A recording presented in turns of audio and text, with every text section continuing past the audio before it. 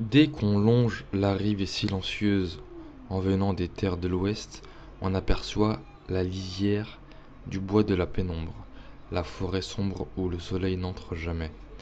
J'atterris en Griffon après avoir traversé le lac Miroir et la ferme des Champierreux.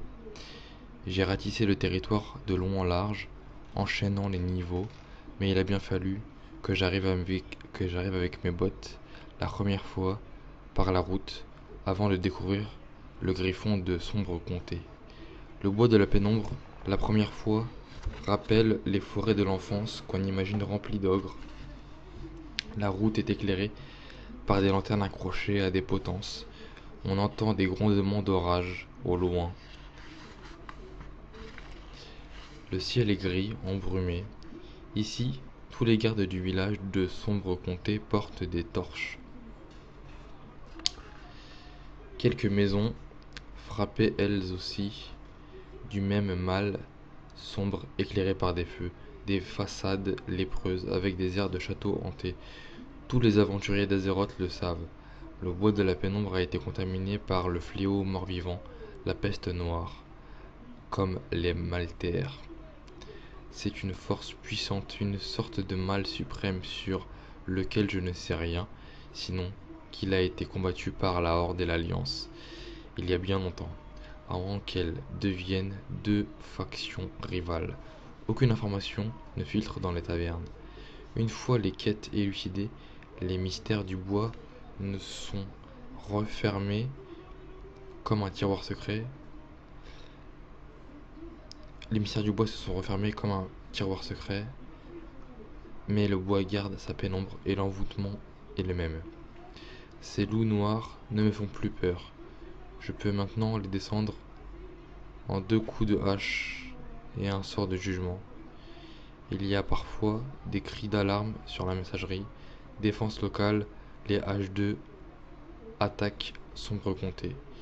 Les aventuriers de l'Alliance, présents dans les environs, rappliquent vers le village par la route ou par le bois, sautant les staillis sautant les taillis, dévalant les pentes, le chemin transformé en tigre, le warrior sur son cheval de guerre, mage, voleur ou elfe de la nuit, les gardes sont déjà au contact avec les H2.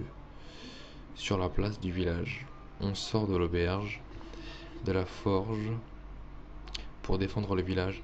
J'ai même vu des petits niveaux se jeter allègrement dans la mêlée, dopés à l'adrénaline et tant pis s'ils font un détour par le cimetière.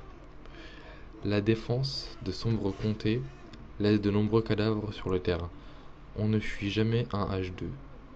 C'est l'une des règles d'or de l'Alliance.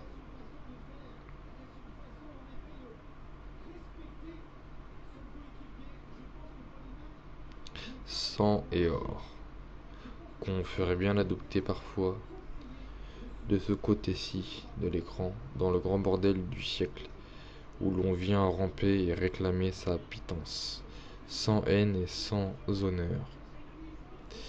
Aujourd'hui, la route qui traverse le bois de la pénombre est calme, désertée, pas un H2 et même pas un gars de l'Alliance. Le bois sombre, ses arbres où pendent des toiles d'araignée, l'éclairage des lanternes et les roulements d'orage. De loin en loin, dans mon casque fit une promenade tranquille dans le bois des ténèbres. Je n'ai plus rien à y faire. Il n'est qu'un point de passage, une étape vers la vallée de Stronglerons, au sud de la carte. Le chemin qui mène passe entre la terre, entre le tertre des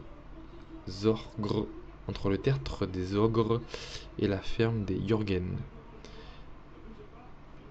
où j'ai accompli d'anciennes quêtes. Il plonge ensuite vers l'inconnu. Stronglerons, un nouveau territoire qui s'étend, immense, jusqu'à B du butin. C'est Mortis qui m'en a parlé. Sur le canal. On entre dans les terres du sud. Le climat y est tropical, la végétation luxuriante. Une vraie jungle avec des tigres et des temples en ruine.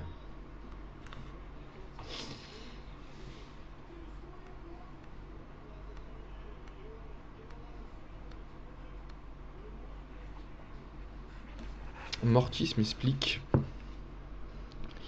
qu'il y a dans cette partie du jeu une référence au colonel Kurt Brando dans Apocalypse Now, qui s'est retranché au fond de la forêt cambodgienne avec une poignée de fidèles dans les ruines d'un temple. Je vais, devoir endosser le rôle du capitaine Villard Martin Chine dans le film, qui doit ramener la tête du colonel Kurtz, mais à l'ancienne, avec ma hache de combat et mes sorts. La quête se prend au camp des rebelles, Mehdi Mortis. Tu devras ramener la tête d'un élite 40, le colonel, Kursen, retranché dans une grotte au fond de la jungle. Voilà l'ennemi, encore un Van Cleef, niveau supérieur, qu'on devrait respecter au pied duquel on devrait allumer des cierges. Au pied duquel on devrait allumer des cierges. Non, il faut le flinguer, le tailler en pièces, comme un vulgaire malfrat. J'y vois comme un blasphème.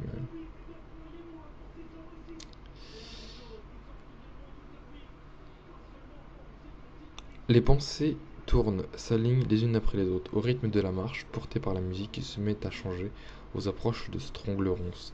J'arrive vers ce pont de bois que je n'ai jamais pris, une parcelle au bout de laquelle on voit le commencement d'une colline, des arbres verts éclairés par le soleil. Je n'ai croisé qu'un gnome de l'Alliance depuis le poste de garde de Sombre Comté. Il y a maintenant ce type, assis devant un bivouac à l'entrée de la passerelle. C'est un mage, et je peux lire son nom et le nom de sa guilde, Corven les exécuteurs. Il s'est mis debout. Et j'ai vu les mots apparaître sur le canal en mode chuchotement. J'ai un message de Skogen. Il n'attend pas ma réponse sur la, messagerie. Il a dit Je connais tes rêves, encore quelques niveaux et tu seras prêt pour le grand passage. Il a dit aussi que vous pourriez renoncer à tout moment. Il me fait le plan du vouvoiement. J'imagine qu'il m'a suivi et qu'il m'a précédé avant de se positionner à l'entrée de la passerelle. La ruse est grossière, c'est ça. Je vais jouer au oui et non avec ce cinglé, me prendre la tête avec son histoire de porte qui communique réellement ailleurs. C'est ce qu'il a dit. Et l'autre se tient là, devant la passerelle, avec le message du barjot en chef. Sérieusement, comme s'il s'agissait d'une affaire importante, liée à ma vie, à mes rêves, peut-être depuis mon enfance. Pourquoi la guilde des exécuteurs? Corvin répond aussitôt On est des chasseurs d'âmes. Et ça veut dire quoi? On ne répond pas à ce genre de questions. J'ai donné le message de Skogen et je vais m'en aller.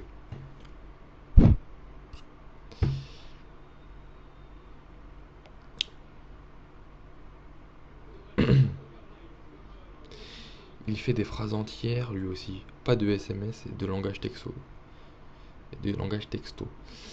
On est entre témoins de la vieille histoire. Je me dis qu'il sait qui je suis de l'autre côté de l'écran, qu'il a lu mes bouquins. Il se transforme en loup devant moi et il fonce en direction du bois de la pénombre. Bien sûr, je pourrais prendre ça pour un gag, un jeu dans le jeu, mais cette rencontre devant la passerelle me donne le vertige. Je pense au mage Skogen rencontré dans les Palunes. Je trouve dingue ce type ait attendu que je monte plus d'une dizaine de niveaux pour, pour se manifester.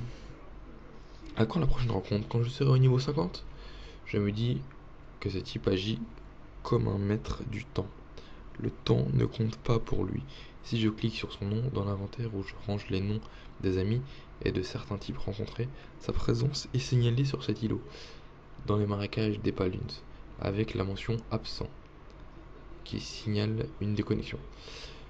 Depuis plusieurs niveaux, j'ai droit à une épée à deux mains, qui fait beaucoup plus de dégâts que ma hache de combat revendue chez un armurier de sombre comté.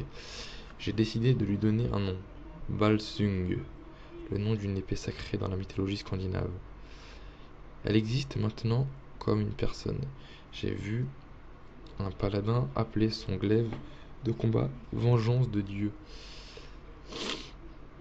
Un autre plus prosaïque l'a baptisé brise-crâne. Mes fringues aussi ont changé avec le temps.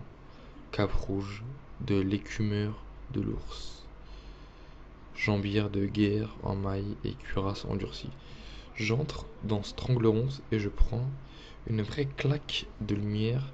Les couleurs sont vives. Plein soleil sur les collines et sur la jungle. Je me suis mise en pause, c'est-à-dire que j'ai allumé un feu et je me suis assis à l'écart de la route après avoir inspecté le terrain. Aucun loup, pas d'ours, pas, pas de H2. Je m'installe silencieux dans la, dans la contemplation des flammes pendant que l'autre partie de moi-même va faire un café. C'est un double jeu rapide qui ne déconnecte rien. On reste branché, Billy, sur les deux rives et je regarde le fouillis indescriptible de ma table, illuminé par une flaque de soleil. Je vois facilement les passages, la mystérieuse rencontre des objets, les jeux d'ombre, les territoires secrets. On pourrait y descendre et s'y perdre. Le glissement entre la table et l'écran de du PC se fait sans heurts, dans la même logique des mondes. Les seuls emmerdements sont les messages sur ton, portable. Les types qui tambourinent à ta porte pour te rappeler un rendez-vous, un boulot à rendre. Ok, ça fait trois jours que je ne sors pas. Et alors? Si on croit plus, si on croit la croit la pluralité des univers, il y a beaucoup, il y a beaucoup à faire dans tous les mondes. Pas la peine de venir nous bassiner avec la même réalité totalitaire obsessionnelle. C'est comme couper les ailes à un oiseau en lui faisant croire qu'il est fait pour marcher sur deux pattes.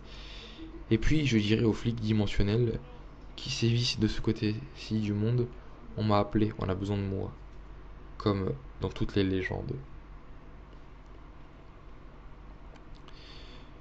Je suis très vite de retour à Stranglerons, devant mon feu de bivouac.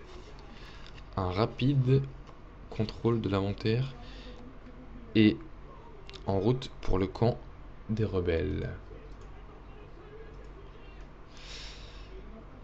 Il est très proche,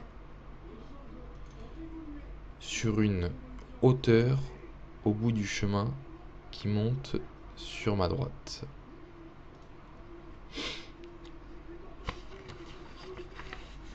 La végétation déborde de partout. Dès qu'on franchit le pont, le slogan s'installe comme un coup de tambour. Stronglerons, territoire contesté. Ce qui veut dire qu'on est sur la route de tous les dangers. Le territoire est contesté à la fois par la Horde et par l'Alliance. Et l'on peut s'attendre à de mauvaises rencontres. Autour de moi, la jungle luxuriante, de hautes fougères, de grandes fleurs, une végétation de lianes et de palmiers, des, collines couleur sable, des passerelles des ponts de cordes enjambant les vallées infestées de tigres, de panthères, de crocodiles gueules d'acier. Je m'attends à voir surgir les patrouilles du Viet Cong, comme les marines dans la poche de, Dan, Da avec les Doors en fond sonore. La putain de mission, elle m'est donnée dans le camp des rebelles à l'entrée d'une tente de toile. Ramenez-moi la tête du colonel Kursen. Euh. J'en oublie le mage Skogen et ses prophéties. La parano. La parano des messagers lancés sur les routes d'Azeroth. Je m'enfonce dans la jungle, attentif à chaque bruit, à chaque mouvement. Les temples en ruine sont là, comme ceux de la forêt cambodgienne dans Apocalypse Now. Une Atlantide végétale avec ses blocs de pierre penchés, ses portiques ouvrant sur le vide, le reste d'un escalier, un pan du mur recouvert par la végétation. C'est le domaine des tigres et des gorilles de Valbrume. Il n'y a plus de chemin et il faut enjamber des morts. Il faut enjamber des arbres morts. se glisser sous les fougères. Difficile d'éviter les jeunes tigres et les panthères noires de Stranglerons. Ils ne sont jamais très loin. Le choc est toujours éprouvant. Je vois ma barre de vie descendre. Et il me faut jouer avec le sort d'immobilisation, me soigner avant de pouvoir avant de subir un nouvel assaut du tigre. Je tourne sur moi-même, balance un solide coup d'épée et l'étends sur le sol. Je trouve un abri sous un grand palmier. Deux rochers dissimulés dans les fougères et me voilà dans la peau d'un rambasson des tropiques avec la sueur et le bourdonnement des insectes. Je pense à Cursen et je l'imagine de plus en plus avec le visage de Marlon Brando. Il m'attend. Il sait que je viens chercher sa tête et il la défendra en espérant bien m'envoyer interminablement au cimetière. C'est une quête de groupe. Seul, il est impossible de vaincre Kursen. Il suffit de comparer les niveaux d'expérience et Enjar, niveau 36, Kursen, Elite 40. Ce qui veut dire qu'on peut lui ajouter 5 niveaux de plus. Je n'ai pas de grenade, de lance-roquettes. Simplement mon épée, ma cuirasse et ma force d'homme.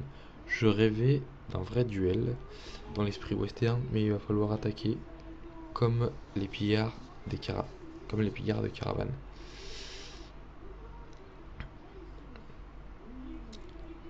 J'y vais seul, on verra bien. Une plongée sous les feuilles, l'escalade d'un rocher et je découvre la base secrète de Kursen perdu dans la végétation tout près des ruines d'un temple, des tentes collectives qui abritent ces guerriers et ces réducteurs de tête, des braquements de planches, des caisses, des sacs de farine. J'avance à la limite du camp, essayant d'éviter les gardes, l'épée ou le bâton de mage à la main. J'ai repéré l'entrée de la grotte à l'extrémité nord du camp, ces guerriers de la jungle sont doués d'un sort d'invisibilité, si bien qu'ils peuvent surgir à n'importe quel moment. Dès qu'ils approchent, on entend le sifflement de l'air comme un chuintement qui signale une présence. Ils se rendent visibles et donnent le premier coup qui fait mal, perce la cuirasse et on voit les points de vie descendre. J'essaie d'en isoler un, de le flinguer derrière un rocher pour ne pas rameuter deux ou trois autres salopards. Je n'utilise même pas mon bouclier de protection. Je morfle un peu, j'avale une potion santé, envoie un sort, je prends les coups mais finis par l'avoir. La stratégie reste la même pendant ma descente dans le repère de Kursen. Quand il voit qu'il va perdre le combat et qu'il reste très peu et qu'il lui reste très peu de points de vie, le guerrier de la jungle tourne les talons et va chercher ses camarades. Si je le laisse fuir, il va revenir avec d'autres types armés jusqu'au dents et je serai bon pour le cimetière. Dès qu'il tourne le dos et qu'il commence à courir dans dans l'autre sens, j'envoie un sort de jugement qui le foudroie sur place. J'avance, je rase, j'avance, rase les murs de la grotte, laissant des cadavres derrière moi. Je pense à Brando, l'icône de mon adolescence rock. Pas très loin, à portée de mon épée. Ça fait drôle. Brando vêtu de cuir, oui, une cuirasse, à la tête d'un gang de motards. C'est vrai qu'il était dans la quête, déjà à l'époque du film L'équipe est sauvage. Et me voilà dans le rôle du prédateur. Sa tête que je dois ramener. Lorsque les types du camp rebelle m'ont proposé la, quête de Kursen, j'ai dit oui, sans réfléchir, sans me poser de questions du genre qu'est-ce qui Qu'est-ce qu'il a fait? C'est pas, ce n'est pas n'importe qui, puisqu'il porte le grade de colonel. Et si les gars du camp rebelle étaient des pourris? J'ai dit oui parce que je pataugeais dans la jungle et parce que j'avais déjà ma mission. Je devais ramener la tête d'un colonel des marines qui avait pété les plombs, au fond de la jungle cambodgienne, dévoré par ses propres cauchemars. Un truc lourd à porter pour un paladin niveau 36. Avec sa fierté, mais aussi ses naïvetés, ses faiblesses.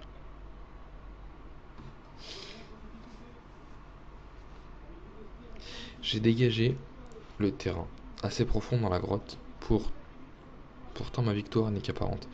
Depuis mon entrée dans la grotte, mes chances se réduisent progressivement, lentement, comme le sable qui coule d'un sablier. Ils sont trois plus bas, barrant le passage. Trois niveau 38. Cuirassé, casqué, une longue épée à la main. Je longe le mur, accroche le premier, recule, l'emmène avec moi, l'isolant des deux autres. J'ai réussi à me le faire. J'ai réussi à me faire les trois. En reculant, chaque fois que j'en accroche un. Usant le bouclier, les potions de vie, les sorts de guérison. Me vidant de tout mon mana. J'ai tout balancé. Je n'ai plus rien et j'ai perdu et j'ai beaucoup perdu. D'autres gardes de Kursen, plus loin. Dans l'état de faiblesse où je me trouve, un seul coup de hache suffirait à m'envoyer directement au cimetière. Je dois trouver un coin tranquille pour me régénérer. Retrouver toute ma santé, mon mana, mes sorts de combat, mes auras de protection. La leçon était rude, mais je continue la progression sans demander du secours, comme tous les obsessionnels. Kurt, colonel Kurtzen.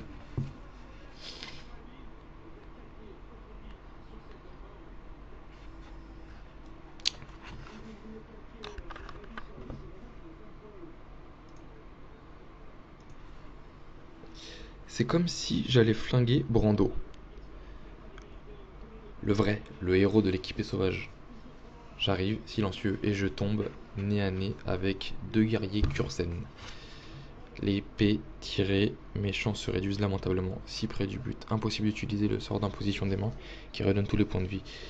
Il lui faut une heure pour se recharger. Reste l'épée, le bouclier et les sorts rapides, mais la barre de mana descend vite. Qu'est-ce qu'il reste à faire quand on va mourir? Je recule, essaie d'entamer une danse rock'n'roll finale par dérision. Une seconde à peine, le commencement d'un geste, et les deux furieux m'envoient au cimetière de Stranglerons.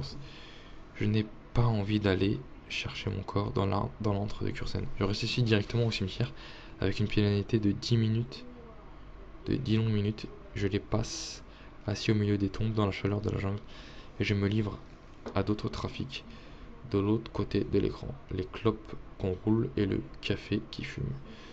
Je me déplace avec le long fil du casquifi, les cris des oiseaux et la musique dans les oreilles, je ne quitte pas l'ambiance de Tranglerons.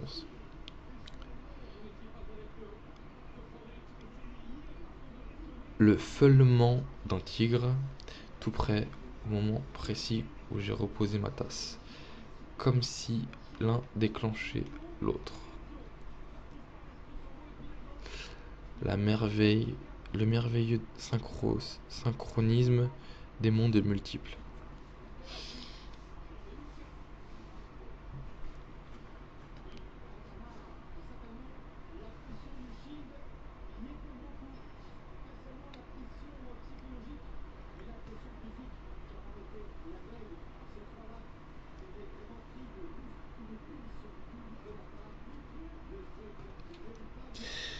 J'ai fini par avoir la tête de Kursen sans même demander de l'aide d'un groupe. La préparation est trop longue. Il me fallait la tête de Kursen devant moi. Maintenant, j'ai demandé à mon pote Kadat, un démoniste niveau 70, de nettoyer la grotte, de réduire les capacités de Kursen et de me laisser le finir. Kadat navigue dans les hautes sphères d'Azeroth possède son griffon personnel, fait ses quêtes dans, l'outre-terre, explore les grottes du temps, la forteresse de Karazhan, des endroits où je ne m'imagine même pas poser les pieds. Il appartient désormais à la guilde Prométhée, composée de level 70 qui écume l'outre-terre. Sapé de pièces d'armure épique et qui ont pour chef le très charismatique prêtre Lyre, maître de la guilde. Kadat arrive au camp des rebelles, superbe, sur un cheval au sabot de feu, Après l'avoir salué, je prends le temps d'admirer ses fringues et ses armes, les protège-mains de la pensée de la pensée fluide, le collier pâture des âmes volées, une épée à la main, à une main, la grande épée des rêves atroces, plus 130 au dégâts de sort, trouvé sur Marmont, le boss final du labyrinthe des ombres. Son armure est hérissée de pointes. Il porte la robe des démonistes. Son cheval se cabre et pousse des hennissements.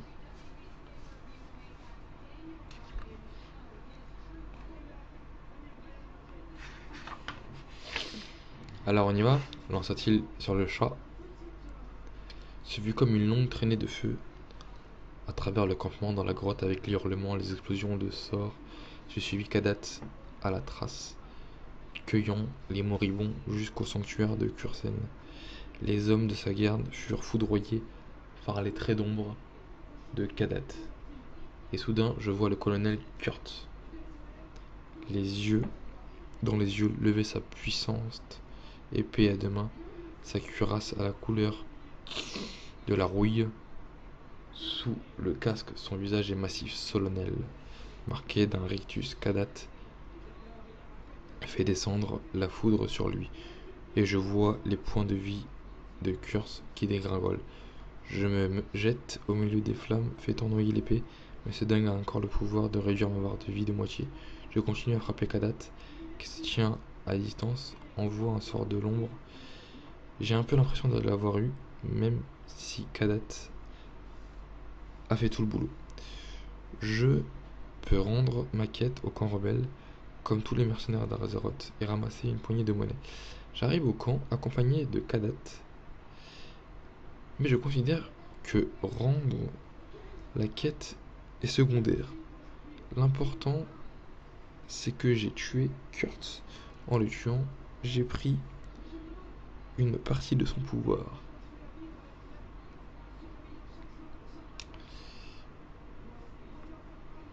J'ai traversé Stranglerons par la route, me suis fait descendre par les H2 qui sillonnent le territoire.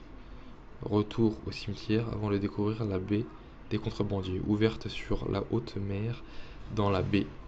Il y a cette immense statue d'un dieu gobelin, les bras ouverts, qui rappelle le Christ dans la baie de Rio de Janeiro. Cette partie côtière de Stranglerons s'appelle justement le Cap Janeiro. La route qui y mène est périlleuse. Des ponts de cordes jetés au-dessus de vallées infestées de tigres et de crocodiles. On croise des cadavres le long de la route, déconnectés, d'autres que je peux ressusciter avec mon sort de rédemption, ce qui leur évite le long retour du cimetière. Il est connu que les types de la horde passent fréquemment sur la route et que le contact est souvent mortel. On les trouve aussi à Baie du Butin, où ils partagent paisiblement la ville avec ceux de l'Alliance. Pas toujours. Les meurtres sont fréquents, mais les gardes gobelins réagissent aussitôt contre les agresseurs. Le danger commence dès la sortie de la ville. On peut s'attendre et chercher ouvertement à la bagarre, à une bonne distance des gobelins qui gardent l'entrée. Je peux dire, sans trop de fierté, que je connais comme ma poche le cimetière de Stranglerons.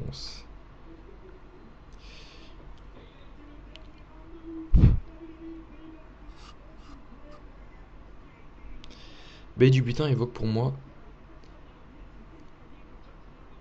de souvenirs de l'enfance. Les galions chargés d'or, les films de pirates, le même soleil, la même lumière qui baigne les objets, les maisons de bois, les cordages des navires. J'explore la ville avec un véritable plaisir physique.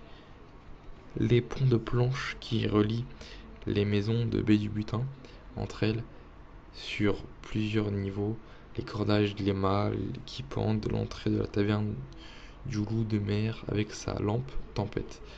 On croise des gars de la Horde, d'autres de l'Alliance, chez les marchands à la taverne. Les gardes gobelins font régner l'ordre avec leur masse hérissée de pointes. Je les ai vus en action et ils méritent bien leur nom de cogneurs de B du butin. Le premier qui dégaine contre un gars de la faction adverse se retrouve au cimetière sauf s'il affiche un niveau sauf s'il affiche, affiche, un haut niveau. Mais il rameute tout contre lui tout, il rameute contre lui tous les gardes de la ville. On peut faire des bons d'une maison à l'autre venir se percher sur un toit avec vue sur la mer et plonger dans l'eau faire des brasses sur des grandes distances faire la planche se sentir vivant avant de revenir se perdre dans les intrigues et les quêtes de baie du butin. C'est le yoga que je m'impose. À certains moments de l'aventure, s'arrêter et regarder, se mettre en phase avec l'environnement, avec de vrais arbres, un vrai ciel, une vraie route sur laquelle les bottes résonnent. Dans ma chambre de la taverne du loup de mer, je n'arrive pas à dormir. Je tourne en rond. je voulais déconnecter et je suis encore là. Au moment où la nuit tombe sur B du putain, je pourrais, j'hésite, je sens la présence de H2 partout dans la ville.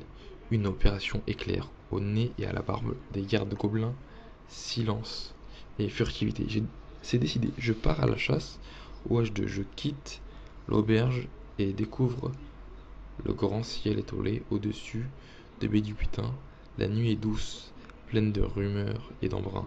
Près de l'écran, ma fenêtre entr'ouvre, entr'ouverte, laisse passer un filet d'air. Et j'ai l'impression de ressentir le vent du large. Sa fraîcheur sur mon visage. Au moment où je traverse la passerelle aux planches, entre deux maisons, en passant devant l'échoppe de l'armurerie, J'aperçois un H2 à l'intérieur, un elfe de sang qui fait réparer ses armes. Il est de dos, face au marchand. Les gardes patrouillent à l'extérieur, un peu en retrait. J'observe ses fringues et son niveau d'expérience. Deux moins, deux niveaux de moins. J'ai mes chances. L'épée dégainée. Si j'agis vite, avec la rapidité du jaguar. Aussitôt, je l'accroche. Et je ne la lâche plus. Saut du croisé. Sort du jugement et étourdissement, sans cesser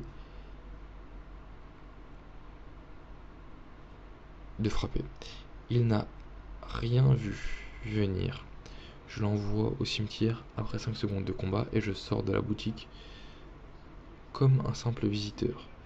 Les gardes n'ont rien vu la nuit est calme, la lune brille très haut dans le ciel immense et rond. Je ne suis pas le seul à me livrer à ce petit jeu d'escarmouche. Plus bas, sur le quai, je découvre le cadavre d'un gars de l'Alliance. Kadat m'a rejoint à la taverne du loup de mer et il m'a montré comment il s'y prend avec les H2 de B du butin. Tu n'agis pas, tu ne bouges pas, tu te feras, tu te ferais tuer par les gardes. Contente-toi de regarder. Ma deuxième sortie nocturne sur les pas de Kadat qui en impose avec ses fringues de guerre. Il a rangé l'épée dans son inventaire et il a chaussé un bâton de démoniste sur son épaule. Le grand bâton de, du sang igné qui émet une lumière rouge. Tu restes au bord du quai.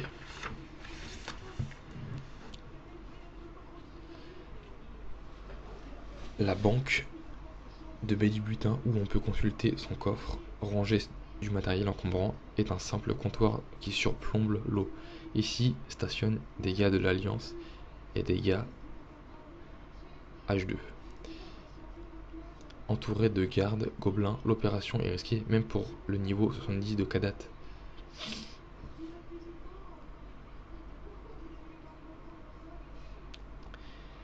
Il rejoint le groupe devant le comptoir, comme s'il venait lui aussi consulter son coffre.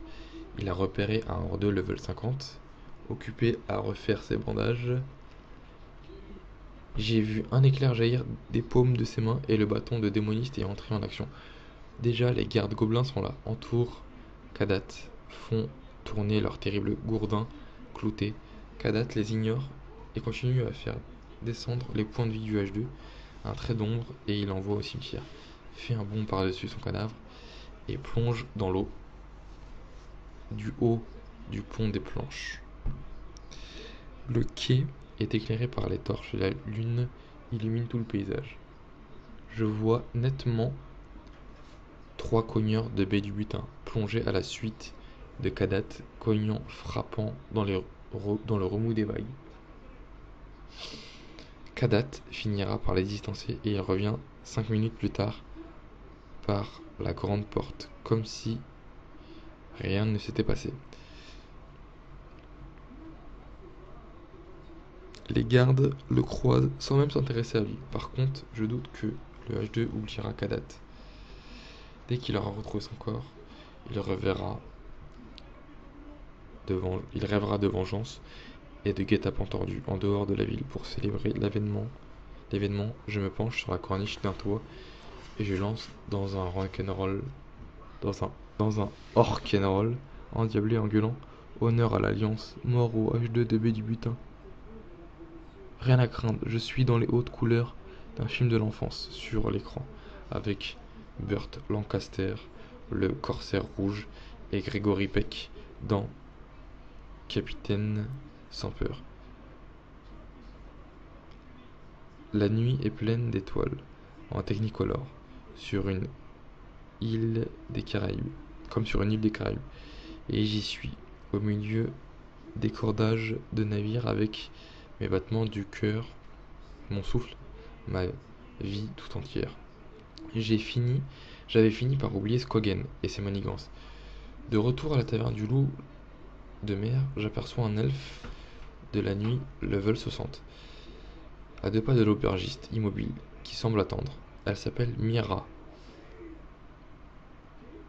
Et elle semble n'appartenir à aucune guilde. Je m'installe à l'écart dans un fauteuil et je laisse passer les minutes. La jeune guerrière n'a pas bougé. Je pense à l'ange gardien de que voulait me mettre sur mes pas, l'un de ses espions spécialement attaché à ma surveillance. J'avais moi-même moi-même proposé en riant une elfe de la nuit. Mira semble m'ignorer. Elle est belle, une prêtresse gardienne des mystères, capable de jeter un sort ou de dégainer un glaive de combat. Je pose ma question sur la messagerie, sans bouger de mon siège.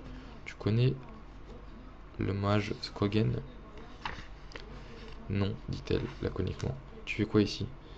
Elle aligne très vite les mots, et j'imagine une no-life, une virtuose du clavier, des quêtes, les ruines de Jubuwal. On peut partager une quête? Désolé, t'es pas au niveau. Je ne cherche pas à en savoir plus. Une fois de plus, je m'absorbe dans la contemplation de sa beauté. Elle discute avec l'aubergiste et semble lier sa pierre de foyer à l'auberge. Une, salutation et elle sort par la porte, la cape au vent, avec la souplesse d'une liane. J'attends, j'explore les alentours de la taverne. Aucune trace de Mira. Je finis par me rassurer. Une voyageuse, une aventurière, comme toutes celles qu'on croise sur le chemin d'Azeroth. Elle n'avait aucun rapport avec l'allumé des Paluns et ses exécuteurs. Dans le fond de moi-même, j'en éprouve presque le regret.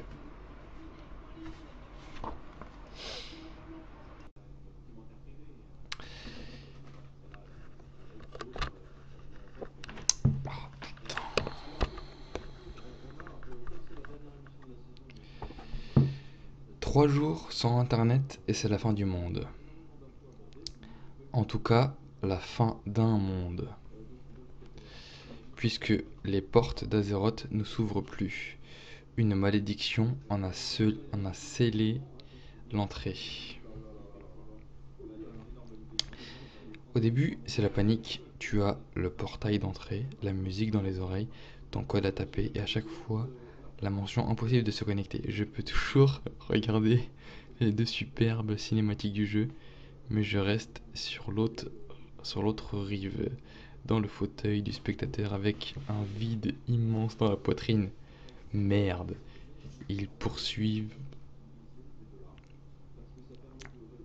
Ils poursuivent l'aventure, sans moi. Qui est devenu Mira Que fait Kadat dans les grottes du temps Et Icar à la tête des guerriers du rêve Et Erindra, passe-muraille de la guilde Prométhée, disparu dans une poche de temps parallèle rendue inaccessible. Il me reste les paysages d'Azeroth dans les magazines vidéo, les souvenirs et la musique de WoW et, de, et la musique de WoW sur un CD. Rien de bien consistant, des vestiges comme après un naufrage. la nuit, je ne dors pas, je tourne en rond. Et j'imagine Enjar faire la même chose dans la taverne du loup de mer. C'est comme si la hache d'un guerrier orc m'avait littéralement coupé en deux. J'attaque au Lexomil plonge dans un bouquin de Mor. Mais mon esprit se balade du côté des marches de l'ouest, survole la forêt d'Elwyn. J'ai beau appeler Free et gueuler dans le téléphone, ils prennent leur temps pour rétablir la ligne. Je refuse de sortir, de bouger, d'agir. J'ai décidé d'atteindre, j'ai décidé d'attendre en priant les dieux d'Azeroth de me venir en aide.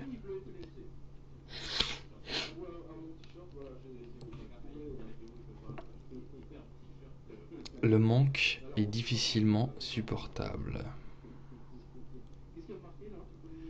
C'est comme lorsqu'on attend une guérison imminente sans savoir à quel moment elle va venir. La notion du temps n'est plus la même. Les secondes s'étirent comme des minutes. Il vaudrait mieux, il vaudrait mieux dormir, s'engloutir sous une couverture, laisser passer l'orage et les mauvaises pensées. Qu'ai-je fait? Ai-je manqué d'honneur dans le jeu? Jusqu'à ce que Free fasse un miracle. Le soir, je me remplis, je me replie dans mon fauteuil et je bois de la bière en regardant des DVD Mel Gibson, Apocalypto, immersif, aussi prenant qu'un voyage à Stranglerons. Mais il dure deux heures, pas plus, et il faut enchaîner d'autres gestes, combler le manque, la musique, les bouquins, la radio, perdu sur mon île, pendant que Free essaye de franchir les récifs.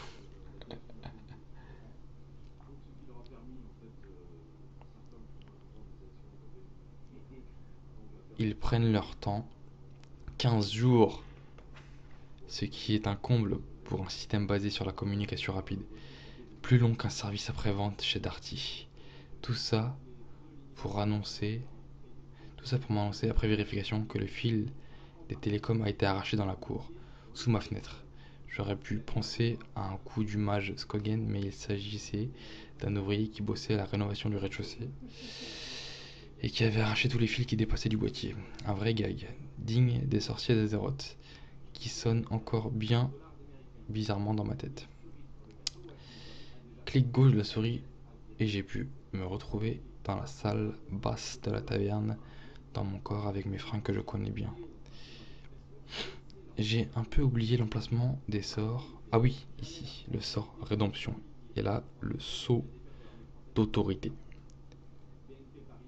L'épée est à sa place et je vérifie mon inventaire. Une fois en parfaite possession de mes moyens, je sors de l'auberge, je prends le griffon pour Hurlevent. Je m'assure que Mira fait bien partie des joueurs connectés. Oui, elle quête dans les montagnes d'Alterac. Kadat est toujours du côté d'Outre-Terre et Morty s'est retourné à Dunmorg et Mortis est retourné à Dunmorog.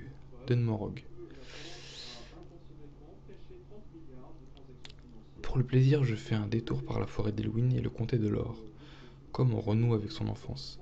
Pousse jusqu'à l'abbaye où je suis arrivé pour la première fois, niveau 1. perdu au milieu des loups et sangliers, émerveillé par la forêt et la splendeur du ciel. Un pèlerinage pour me réconcilier avec les dieux d'Azeroth. Une idée saugrenue me traverse l'esprit. Et s'ils avaient guidé la main de l'ouvrier en bas dans la cour quand, ils avaient, quand il a arraché les fils C'est une question comme une autre, mais je ne m'y attarde pas. Je la chasse très vite. Pas d'ombre dans la coulisse, pas d'ennemi sur mes arrières. Pour saluer la forêt d'Elwyn, j'ai mis le bleu de l'été du film Alamo en MP3. La nostalgie devient profonde, poignante. Bonjour aux animaux des bois, aux oiseaux qui chantent, aux lièvres qui traversent la route, au soleil dans les feuilles, à tous ceux que je reconnais, les marchands devant leur roulotte, les donneurs de quête de l'abbaye. J'en ai les larmes aux yeux. Je suis là, dans le pays de mon enfance. C'est ici que tout a commencé. Je peux repartir vers le comté de l'Or, visiter ma première auberge au passage, saluer forgeron et prendre la route de Hurlevent. J'ai laissé le CD Music from Famous Western tourner. Après Alamo, Rio Bravo, Les Sept Mercenaires, L'Homme à l'harmonica, Veracruz. Puis, je suis revenu à la bande-son de WoW, dont la fameuse Legend of Azeroth dès qu'on entend dès qu'on franchit les portes de Hurlevent. C'est une remise en condition. Après de longues années d'absence, j'avoue sur le chat que ces 15 jours ont duré une éternité. Et je me prends une rafale de LOL et de MDR. Je compatis. Répond Mortis depuis Dunmorog. Salut à toi et bon retour enchaîne Icar sur la messagerie. Ces jours de fête au comté de l'Or, des nomades installent leur baraquement, des stands, un village de toile. On voit des PNJ creuser le sol, planter des piquets, on peut les interroger. Qu'est-ce que vous faites? Nous sommes une foire itinérante. Une fois là, une fois ailleurs, on installe la foire de sombre lune. Revenez quand tout sera prêt et il continue à piocher dans le périmètre destiné à la foire, limité par une clôture de bois.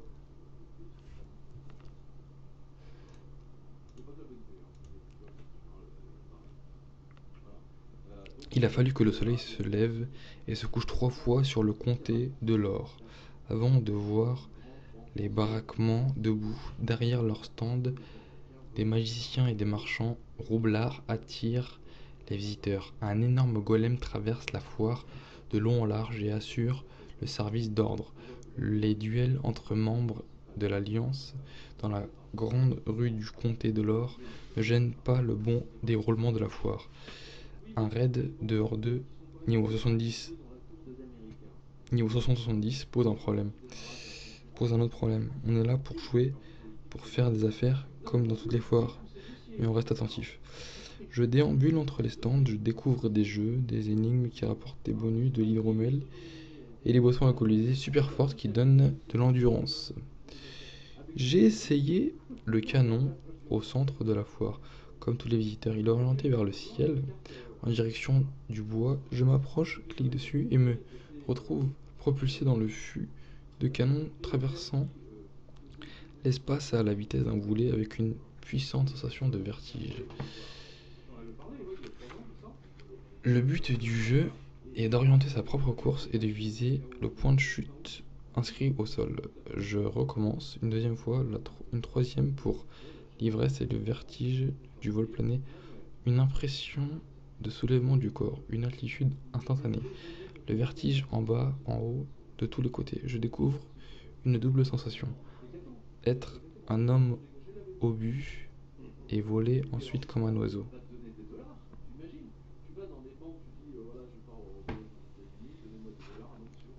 La nuit, je viens rôder autour des baraquements de la foire de sombre lune, comme Augustin Molne venait rôder autour de la roulotte de Ganache, le bohémien, dans le Grand Molne. à la recherche du pays perdu, du domaine sans nom.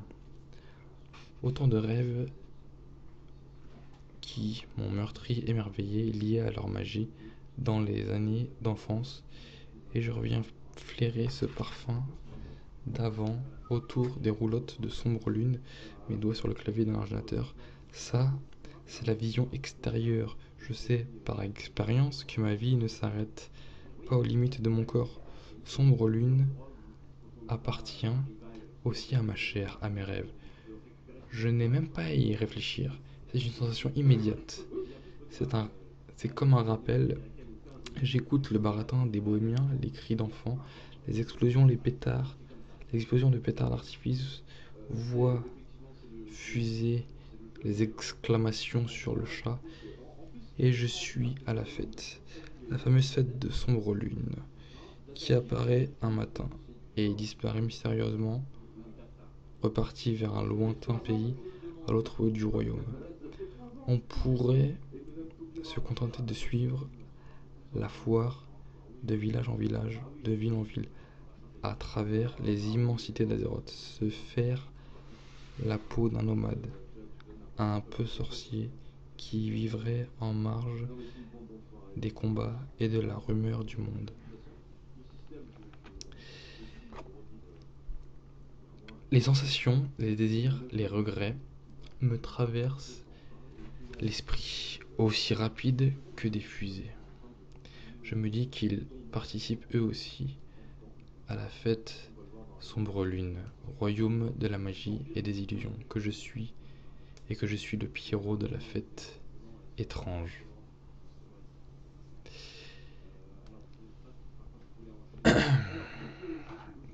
Mira n'est pas venue à la fête de sombre lune, ou alors quand je n'étais pas là. Je l'ai mise dans mes connaissances et je peux donc savoir dans quelle partie du jeu, dans quelle partie du territoire elle se trouve sans connaître sa position exacte sur la carte. Une zone à explorer, trois mots sur le chat. Tu es où? Elle quête dans les hautes montagnes d'Arati. Et si j'allais la rejoindre? Une visite surprise, comme font les émissaires du mage Skogen. Mais pas pour les mêmes raisons. Le hasard des rencontres. Tiens, tu es là. On s'était vu à baie du Butin. Le hasard, mon œil, pensera la belle. J'hésite encore à faire le voyage. Je me dis qu'elle est niveau 60 et qu'elle sera bien obligée de me servir d'ange gardien. Et si c'était encore un coup du père d'Elfira ou l'un de ses semblables? J'en parle à Kadat sur la messagerie, en mode chuchotement, et il me dit qu'il a déjà fait une quête avec elle. Il l'a revue dans des groupes. Ils fonctionnaient tous avec un chat vocal, micro et casque sur les oreilles, et il m'assure que c'est une fille. Il ne sait rien d'autre sur elle. C'est une fille mage level 60. Je me demande pourquoi je m'intéresse à elle. Il y a des tas d'elfes de la nuit sur le chemin d'Azeroth. Peut-être l'instinct du chasseur, ou un appel plus profond.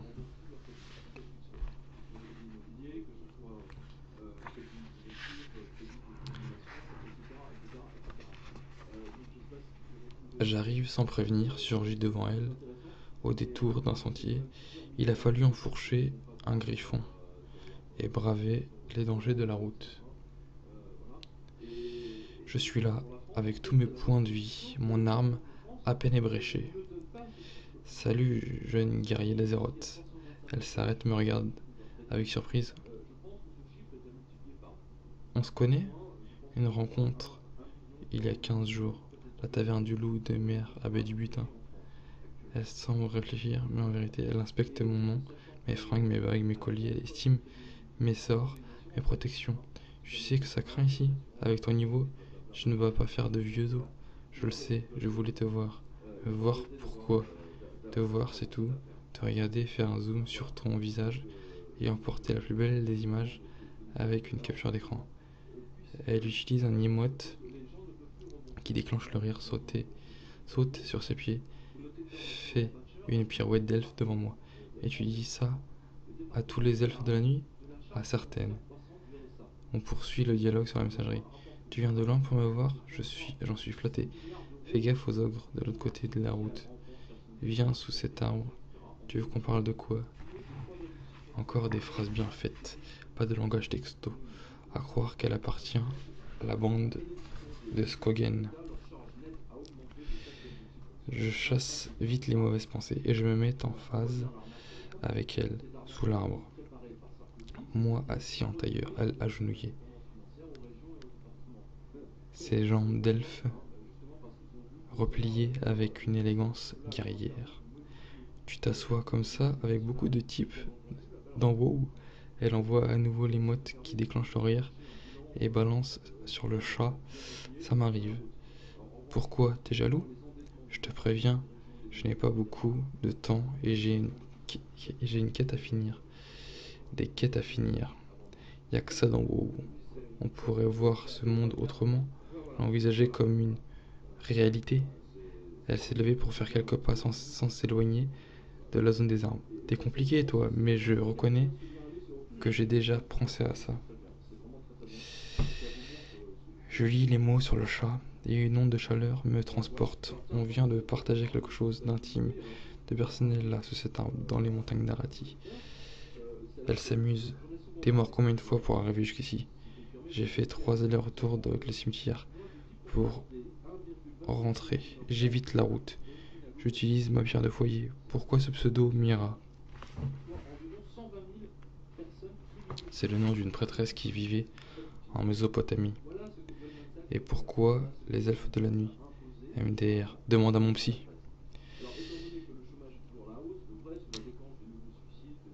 Je me lève et vais marcher jusqu'à la route qui monte.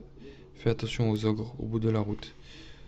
J'attends, j'entends à nouveau son rire et les mots s'affichent sur le canal d'audition. Je ne vais pas te servir d'ange gardien. Les mots ont fait mouche avec une précision d'archer. Je me retourne, marche vers elle sans cesser de pianoter. Pourquoi ange gardien? C'est le mot qu'on emploie, non? J'ai un doute, mais après tout, c'est moi qui suis venu la chercher et je ne l'ai jamais vu me pister dans les rues de Butin ou celle de Hurlevent, elle aussi pure que l'eau du lac Miroir.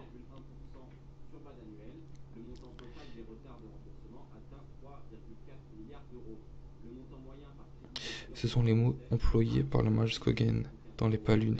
Je ne connais pas le mage Skogen. Je sais, tu m'as déjà parlé de lui. J'ai l'impression de recevoir directement une volée de flèches dans une attaque sournoise. Comment tu peux te rappeler que je t'ai parlé de lui? Pour quelqu'un que tu ne connais pas, il occupe sacrément ta mémoire. Disons que j'ai une bonne mémoire. Et pourtant, tu ne m'as pas reconnu tout à l'heure. Quand je me suis planté devant toi, j'enfonce le clou, je guette sa réaction. De quoi tu parles? T'as pété un câble ou quoi? La voilà agacée, énervée de ma présence. Maintenant, tu peux me lâcher, s'il te plaît? J'ai autre chose à faire. Démerde-toi avec les ogres.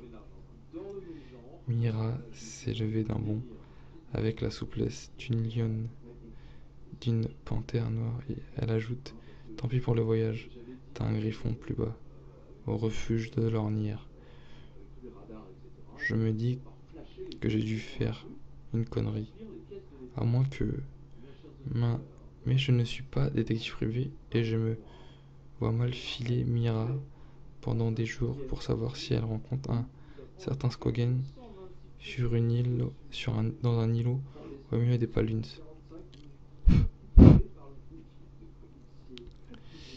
Je remonte la route vers les ruines, l'arme à l'épaule, à la rencontre des ogres.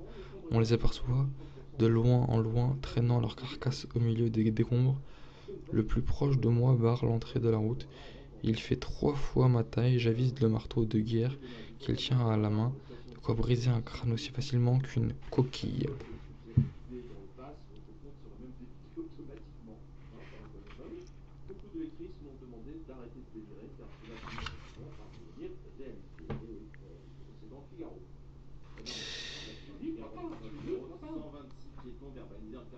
Niveau 64, je n'ai aucune chance, mais je m'en fous d'aller au cimetière. Je dégaine Balzung, prépare mes sorts et fonce sur lui.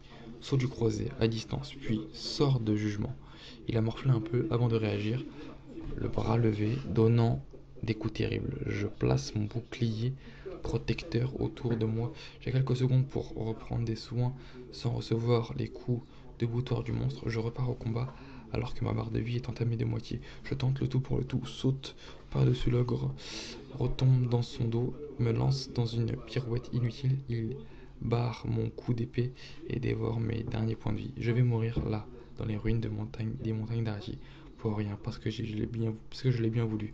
Je tente un dernier effort, envoie un sort d'assourdissement qui le paralyse quelques secondes et j'attaque à l'épée dans le ventre de granit du mont. À ma grande surprise, ma barre de santé fait un bond en avant et me voilà rempli d'énergie. À rabord, en un éclair, j'ai vu Mira poster de l'autre côté de la route qui m'envoyait un super sort de guérison, remplissant en une seconde ma barre de vie. Elle fait un bond d'elfe au milieu de la route, se tient à distance de l'ogre, envoie ses sorts, le vampirise, avale tous ses points de vie. La masse de granit tombe au sol avec un bruit d'immeuble qui s'effondre.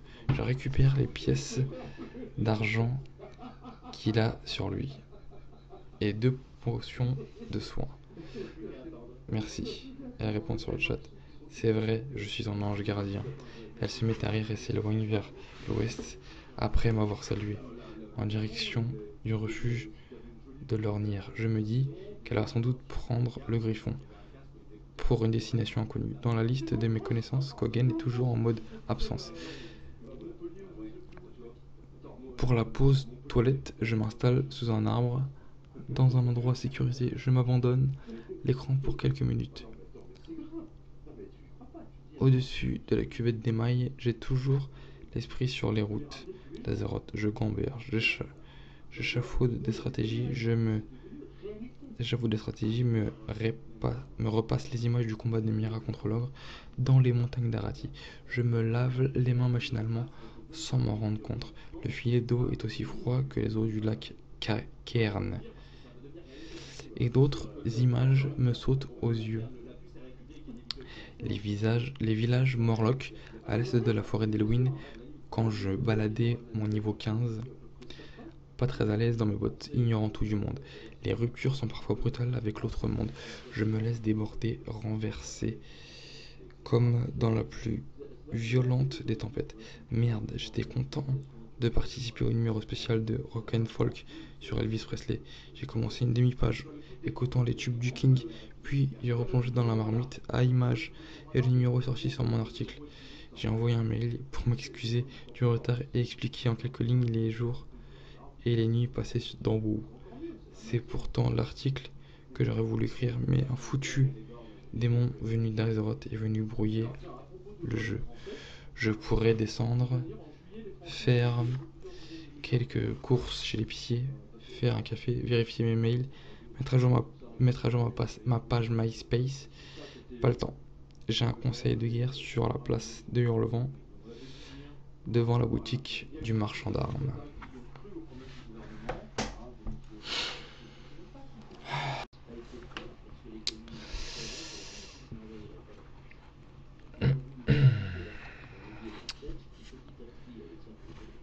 On stationne sur le trottoir au milieu de la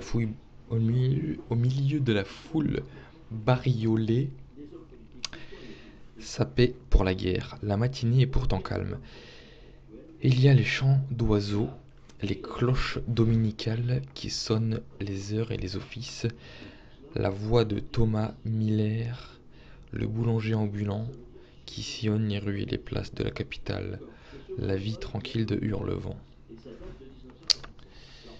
Juste avant les grands départs, ils sont là, debout au bord du trottoir, Père Fouras, un prêtre level 36, et Zablar, un voleur. Ils m'ont groupé pour le monastère écarlate, au nord des montagnes d'Alterac, une instance mythique pour tous les aventuriers d'Azeroth.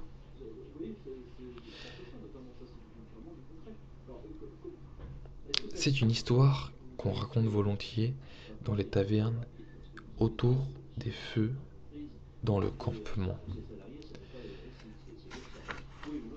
Le monastère était autrefois un grand centre de transmission de la connaissance.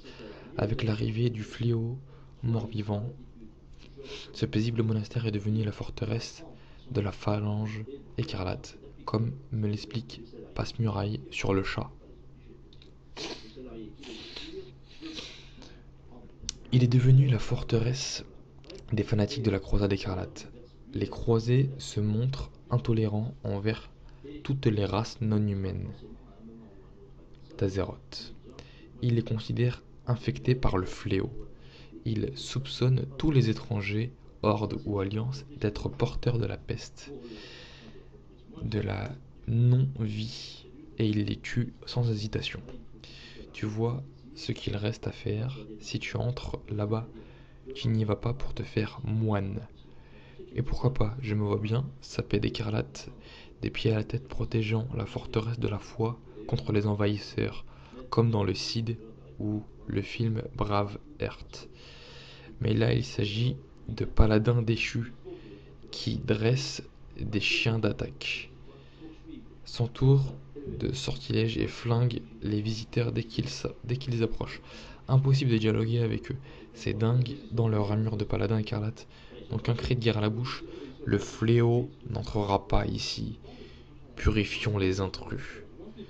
Le genre de formule d'accueil qui fait froid dans le dos. D'accord Pour le Mona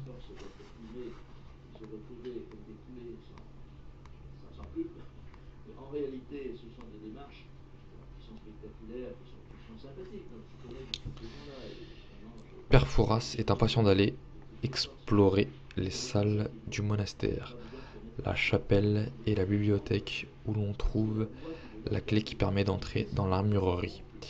C'est une instance pour paladins, m'avait prévenu Kadat. On y loot ravageuse une hache tourbillonnante à deux mains et des pièces d'armure écarlate, mais ça tombe pas tous les coups. Fais gaffe aux deux boss, le commandant écarlate Morgren. Et surtout, la grande inquisitrice Whitman.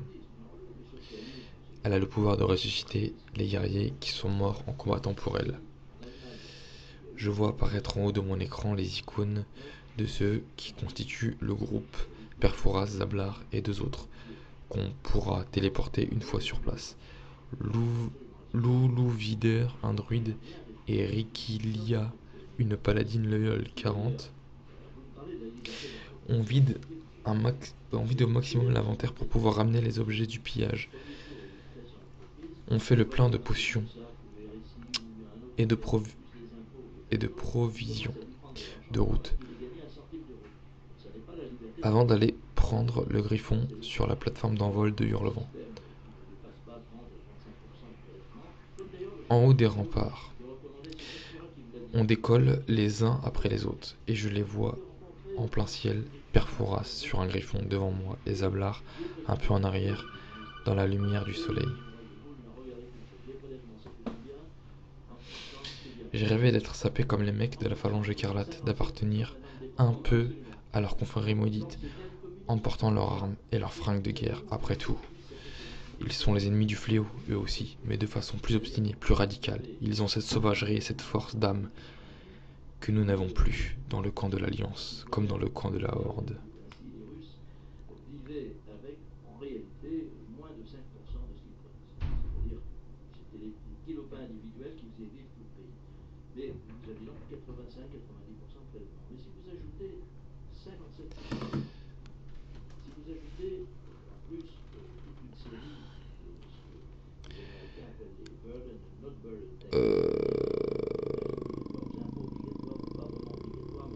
C'est des flippés, gueule perforas, du haut de son griffon, des suicidaires, des kamikazes.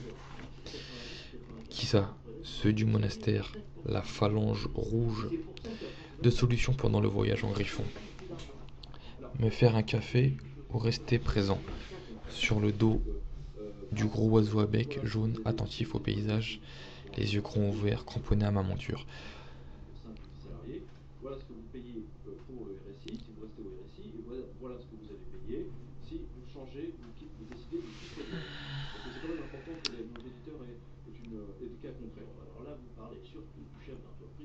La forêt d'Elwyn, ses rivières, ses lacs, ses cascades, un rempart de montagne, le griffon prend de la hauteur et bascule en vol plané au-dessus des steppes ardentes, des pics rocheux entourés de lave, des ruines, les gorges, du vent brûlant, puis une nouvelle ascension à flanc de collines, un virage sur l'aile et je survole des paysages de neige, les forteresses des nains, les hauteurs où vivent les montagnards de Il pleut au moment où le griffon découvre les paluns.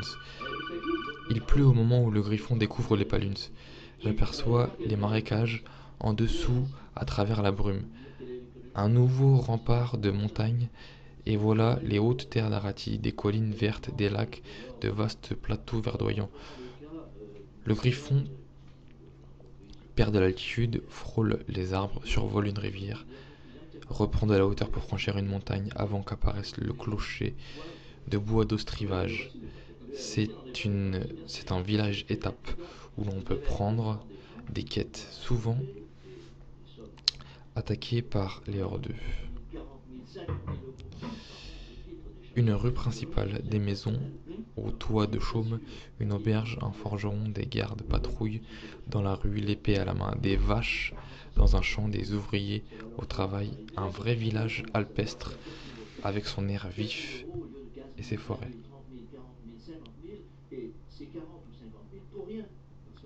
mal assurés. Oui, et, et, et d'autre part, euh, leur retraite ne leur sera jamais versée. Absolument. S'ils consacrent 350 ou 375 euros pour euh, leur assurance maladie auprès d'une assurance européenne, s'ils consacrent par ailleurs, je ne sais pas, 150, 200 euros à titre d'une retraite par capitalisation, ils obtiendront une retraite absolument somptueuse. Savez-vous, par exemple, si l'INSEE vient de publier récemment les chiffres, bon, vous les connaissez, mais actuellement les Français consacrent, euh, parler des salariés essentiellement, tout le monde, à peu près le quart de leur revenu à la retraite. C'est-à-dire que sur un revenu moyen de 1500 euros, vous avez 375 euros qui est consacré à la retraite, qui est très bon Tout ça pour arriver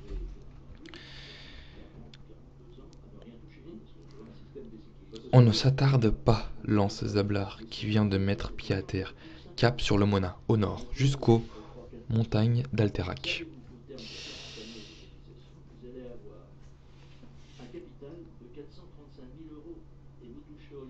J'ai l'emplacement sur ma carte. Il faut contourner les montagnes et atteindre les clairières de Tirisfal en essayant de se faire accrocher le moins possible par de sales bestioles, des ogres et des yétis à fourrure blanche crachant des sorts de givre. Aux approches du monastère, le paysage n'est plus le même. Il flotte un sentiment de terreur, une ambiance qui crée le malaise. Il suffit de lever à peine la tête des corps, pieds et poings liés, se balancent aux branches des arbres. Et le lieu s'appelle le Jardin des Murmures. Ensuite, la route monte vers la forteresse des Croisés. Je n'ai pas un instant à moi, pas le temps de prendre une clope ou de tendre la main vers la tasse à café. Les deux autres sont là, sur le bord de la route, à l'abri des arbres, Loulou Videur, le druide, et Rikidia, la paladine. Ce n'est pas une elfe de la nuit, c'est une humaine vêtue d'écarlate, ce qui prouve qu'elle a déjà fait de nombreuses fois le monastère. Ellery tourne sous les arbres et je cherche le bon angle de vision, trop belle pour être une vraie nana, derrière l'écran, sur le clavier. Encore plus belle que Mira, l'elfe de la nuit, parce peut-être parce qu'elle est sapée comme ceux du monastère. Je prends le temps de l'admirer, un look d'enfer, plastron, gantelette et bottes de la croisée d'écarlate, et le bouclier du commandant écarlate à l'épaule, rien que du rouge.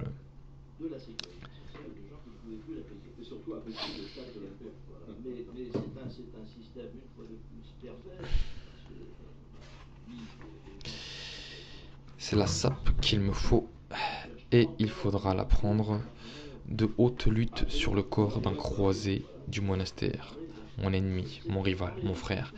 La stratégie est simple. Rikilia a choisi de tanker, c'est-à-dire d'affronter l'ennemi au corps à corps, en faisant, en laissant derrière, en laissant faire derrière elle le soigneur et le jeteur de sorts. Avec son zablard, le voleur, on fait du DPS, du dégât par seconde.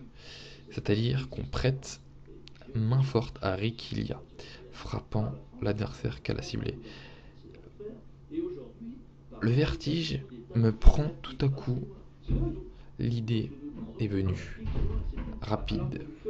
Les mines mortes, le monastère, la prison s'appellent des instances. Une fois qu'un groupe passe la porte, il est seul en opération dans ce lieu. Personne ne peut entrer à la suite du groupe. L'espace s'ouvre et se referme pour lui. Il n'y a pas plusieurs monastères éclates, un seul dans tout, Azeroth. Sur les 9 millions d'aventuriers qui sillonnent les royaumes, quelques dizaines de milliers doivent bien faire la quête du monastère écarlate. Au même moment, au même endroit. Où sont-ils? Au même endroit, mais dans un espace différent, comme dans le jeu des poupées russes qui s'emboîtent. Et je me dis que l'instance est réellement un espace dans l'espace, une vraie dimension parallèle, et que ce n'est pas pour rien qu'il y a instant dans instance.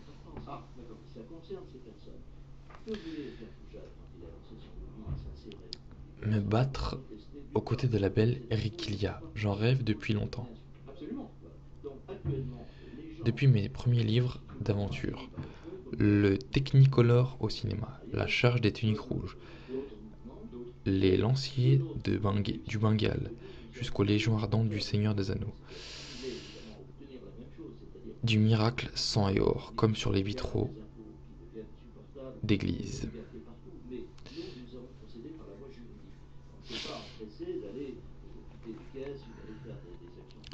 Le porche monumental s'ouvre au sommet de la route. On évite d'accrocher les gardes qui patrouillent autour du monastère. Un seul objectif, le grand escalier qui plonge à l'intérieur de la forteresse. J'entre avec le groupe dans un vestibule au plafond haut décoré de bannières et de draperies rouges. Des gardes écarlates patrouillent entre les colonnes protégeant les portes des dieux instants, des deux instances qui mènent à la chapelle des croisés et à la bibliothèque. N'oubliez pas, dans la biblio, la clé de l'armurerie, gueule Perforas, sur le chat. Tout le monde prend position, à l'abri des colonnes. Le prêtre et le druide reculent pour éviter le contact, préparent leur sort. Rikilia se tient prêt prête à bondir, l'épée hors du fourreau. Le voleur se met en invisibilité, et j'attends le signal de la paladine. On va les isoler, les attaquer par escarmouche, en essayant de ne pas rameuter des dizaines de gardes. Le danger, c'est d'être débordé par le nombre. Rikilia donne le signal de la charge, et les sentinelles les plus proches tombent dans le piège. Elles arrivent en hurlant des malédictions. Croise le fer, lance des sorts de destruction mais la paladine maintient la pression, garde le contact et son épée se relève et s'abat à la vitesse de la foudre. J'attaque avec Zablar l'ennemi qu'elle a ciblé, sans me soucier des gardes écarlates qui accourent. Je laisse Perforas gérer nos barres de vie avec ses sorts de guérison. On pille les cadavres des gardes, des pièces d'argent, un ceinturon de mailles, des potions et on peut foncer vers la porte de la première instance. Surtout ne pas perdre le groupe se retrouver seul dans une instance et c'est la mort certaine.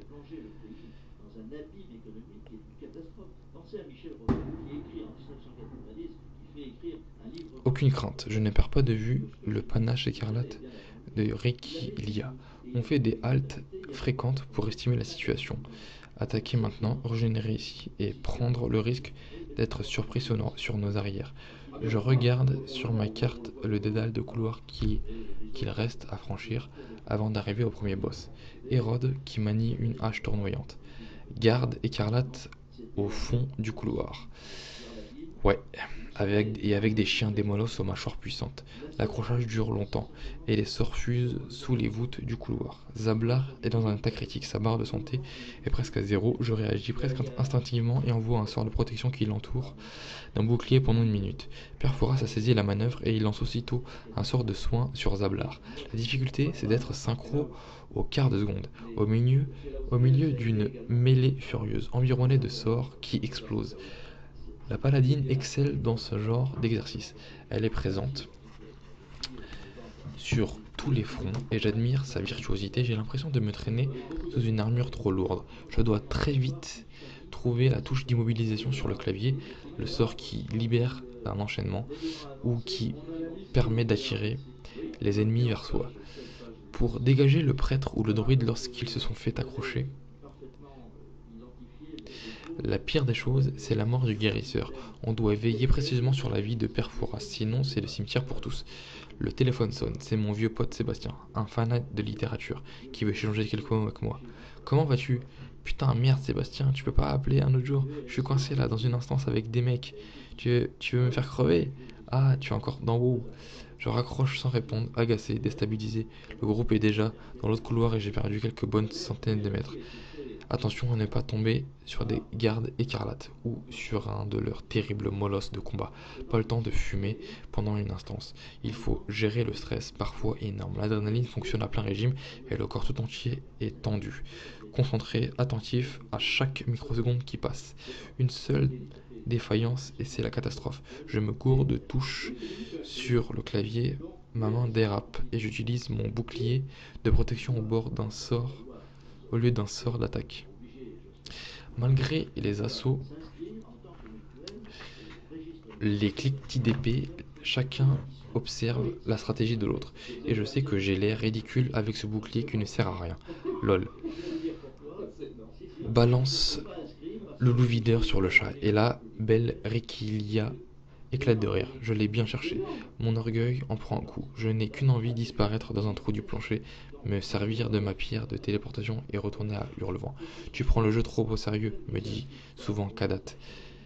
Laisse couler, blinde-toi et t'occupe pas du jugement des autres. Il a raison, et je reviens dans la mêlée avec la rage d'un fils d'Odin, au coude à coude avec la paladine. Hérode apparaît en bas d'un escalier dans une salle circulaire tendue de bannières rouges aux armes de la phalange écarlate.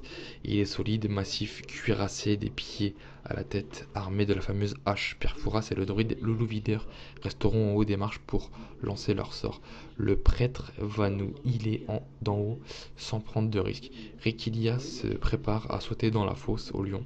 Enjar, on y va. Son cri va me, me va droit au cœur et je plonge avec elle du haut des marches, recule quand sa hache se met à tournoyer. Je perds un maximum de points de vie, frôle le cimetière, mais il y a les sorts de guérison de Perfouras, et je sens des vagues de lumière qui m'inondent, me rendent ma vigueur, ma pleine santé.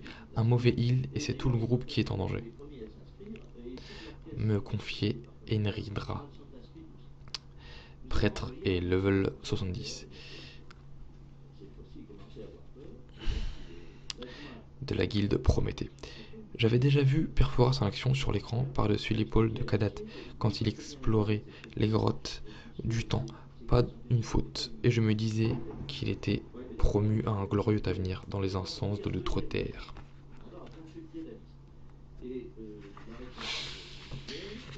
On revient fourbu de ce genre de combat.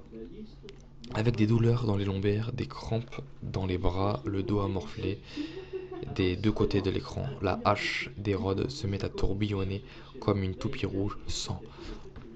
Incendié par la fureur, il faut reculer et revenir à l'assaut du boss, soutenu par les sorts du druide, une fois, dix fois, vingt fois, guettant le moment où il va s'effondrer. Encore un effort, lance le loup videur, il est bon clic gauche sur son cadavre. Et c'est un moment de grand, de grand, de grand C'est un moment de grande excitation. Je récupère l'épaulière Hérode qui ajoute 196 points à l'armure. Je l'endosse aussitôt. C'est une épaulière de mailles rouges hérissée de pointes qu'on porte sur l'épaule droite. Me voilà frère de combat de la belle Rikilia qui progresse à la tête du groupe en direction de la chapelle des croisés. À peine le temps de régénérer au milieu des cadavres, on entre dans la chapelle et je retiens mon souffle. Le spectacle vaut le coup d'œil. Les mêmes, mêmes tentures rouges à la gloire de la phalange écarlate. Dans l'allée centrale qui mène au trône du commandant Morgan, je vois les disciples écarlates agenouillés en prière qui forment la garde d'honneur du boss final. Les noms apparaissent signalant les factions, les rôles des défenseurs du monastère. Sorcier écarlate, moine écarlate, champion écarlate. Tous des élites, rassemblés autour de leur chef. Une fois, une fois de plus, on, ça, on accroche les plus proches, cherchant à les isoler. Et les sorts se mettent à pleuvoir. Je fais tournoyer Balzung au-dessus des crânes, fier de mon épaulière rouge liée à l'épaule droite, des tourbillons de feu, puis le silence tout, tout à coup. Zoom d'en haut avec la molette de la souris. Je vois le groupe assis en tailleur. J'entends les bruits de déglutition et de mastication. Chacun se prépare à l'affrontement final. Attention à la grande inquisitrice, me confie Rikilia, en mode chuchotement.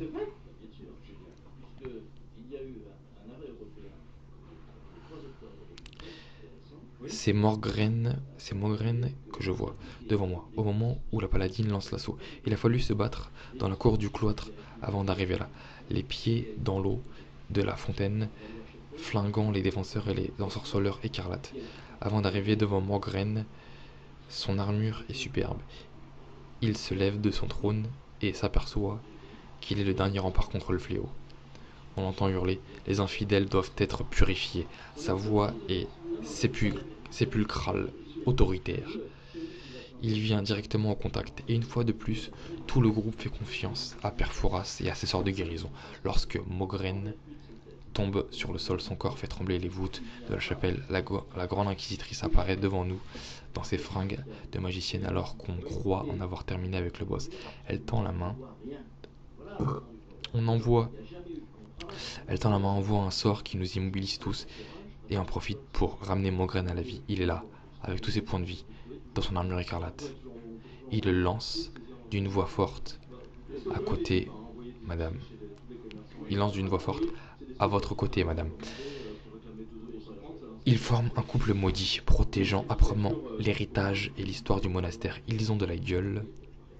Tous les deux, je fais une capture d'écran pour garder une image de l'événement, une photographie en temps réel, mieux que Jeanne d'Arc et Gilles de Rais, Bonnie et Clyde, ou Roméo et Juliette. Ils vont mourir ensemble, côte à côte, l'âme, l'arme à la main, dans la chapelle des croisés, sous les bannières rouges de l'ordre, mieux que sur les remparts de Fort Alamo. Je me sens une fois encore dans la peau du prédateur du pollueur, du bouffeur de cadavres.